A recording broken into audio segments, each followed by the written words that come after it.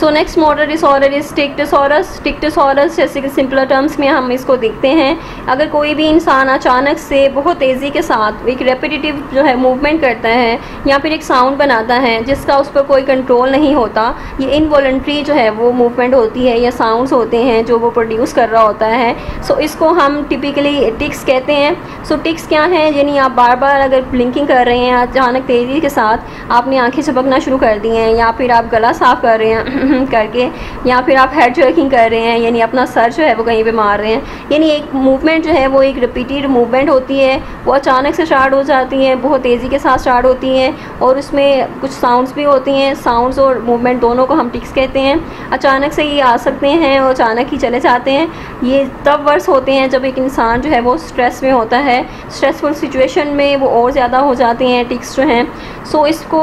Therapy से हम cover कर सकते हैं और टिक डिसऑर्डर्स को मैनेज किया जा सकता है विद थेरेपी सो कुछ कॉमन सिम्टम्स हैं टिक डिसऑर्डर्स के, जैसे कि मोटर टिक्स हैं, जिसमें मूवमेंट की टिक्स होती हैं, यानी एक पर्टिकुलर मूवमेंट जो है वो अचानक से स्टार्ट हो जाती है और वो रिपीटेड होती है सडन अचानक होती है फास्ट होती है इनवॉल्ट्री होती है, एक पर्सन का उस पर कोई कंट्रोल नहीं होता. लाइक आई ब्लिंकिंग है तो अचानक से आपकी आई जो है वो ब्लिंक करना स्टार्ट कर देगी और लोग कन्फ्यूज़ हो जाएँगे कि आप क्या कर रहे हैं.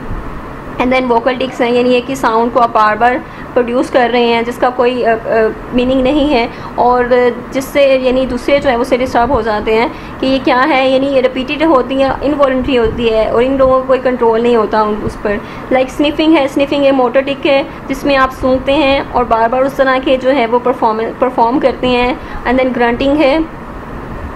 grunting is related to the गड़गड़ाना यानी आप जो है थ्रॉट क्लियर कर रहे हैं एंड देन कॉपरो ले लिया है जिसमें involuntary use of obscene language ठीक है इस तरह की लैंग्वेज जो कि इनअप्रोप्रिएट होती है उसका यूज़ करना इक्वल ले लिया है इक्वल ले लिया मीन आपने दूसरों के जो वर्ड्स हैं जो फ्रेजेस हैं उसको आप रिपीट करते जाते हैं बार बार कॉम्प्लेक्स टिक्स यानी बहुत से पेचीदा टिक्स भी होते हैं I hope I made it clear if you have any confusion you can ask in comment section मिलते हैं नेक्स्ट वीडियो में टिल देन टेक केयर